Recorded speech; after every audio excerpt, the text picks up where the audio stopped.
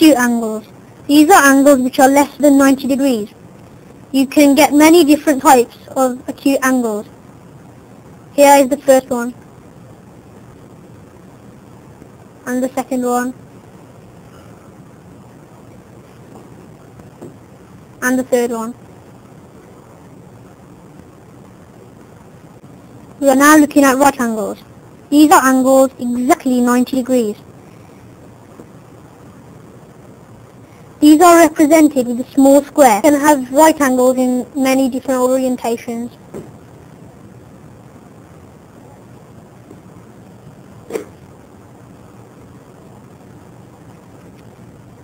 Obtuse angles.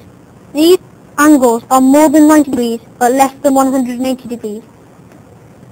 Here is the first example.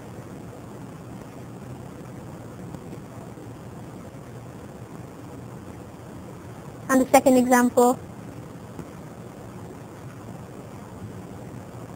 And finally the third example.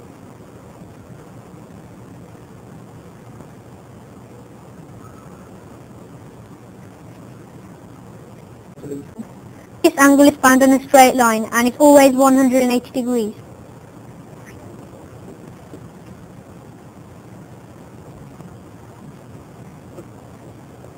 Second, uh, this is the second example. And finally the third.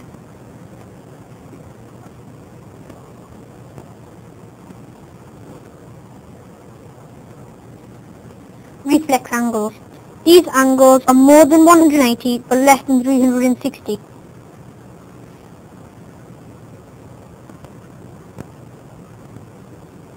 And the second example.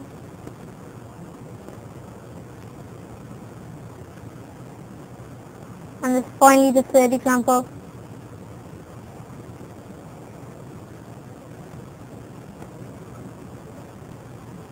Angles at a point. Angles in a circle add up to 360 degrees.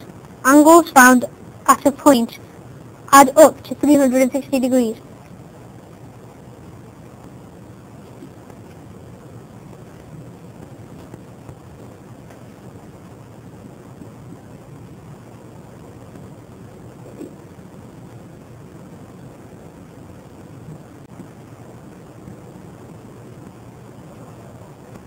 Angle A, B, and C